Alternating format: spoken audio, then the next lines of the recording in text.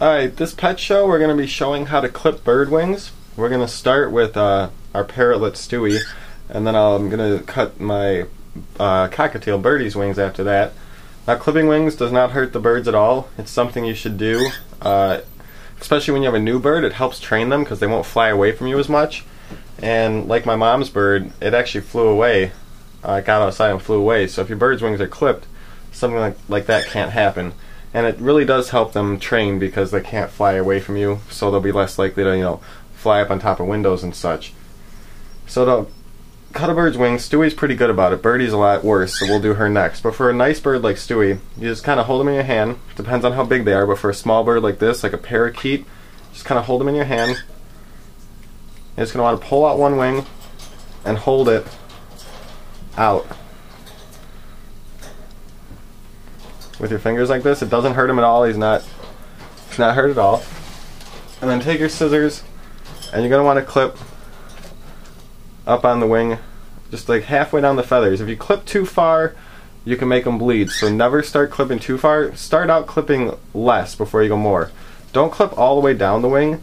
You mainly want to clip off these top feathers. You don't have to clip off all the way down the wing to, to the by his body. So it's real simple. You just hold it out and then you just cut him off.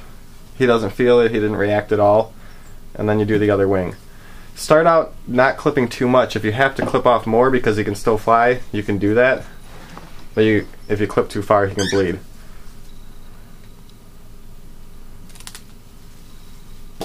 And that's it. He's done and he doesn't even know. He went back to his cage. And now Birdy,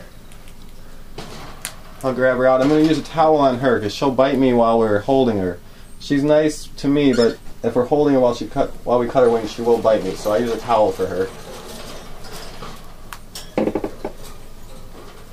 And I've actually let them fly for a while. I'm cutting their wings because they've been kind of annoying, flying away and not really paying attention as much to us, kind of acting like they rule the rule the house. So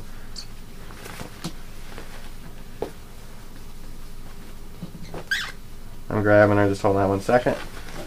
All right. So with a with a towel, I've got her in here, and I'm gonna have Cassie cut this one because it's harder. She's completely fine, but when you hold them in a towel, they'll just be calmer. They can't move. So I'm gonna hold her in the towel. and spread the wing, and then Cassie's gonna cut just the end feathers there. Let me see if it's on film. There we go. She's gonna cut just the end feathers off here. Here. Right there cut them a little bit higher because I usually cut them a little higher on her. She could still fly.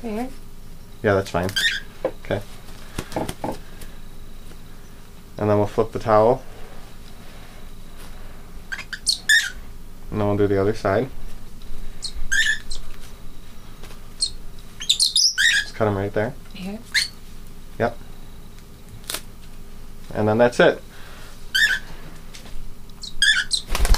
She just went back to her cage. Now they'll still be able to fly across the room, but they won't be able to fly around. They'll fly down.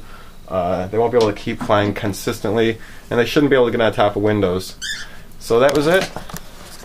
It's real simple. And as you can see, they didn't even notice. They probably don't even know what I did until they try to fly later and they realize they can't get anywhere.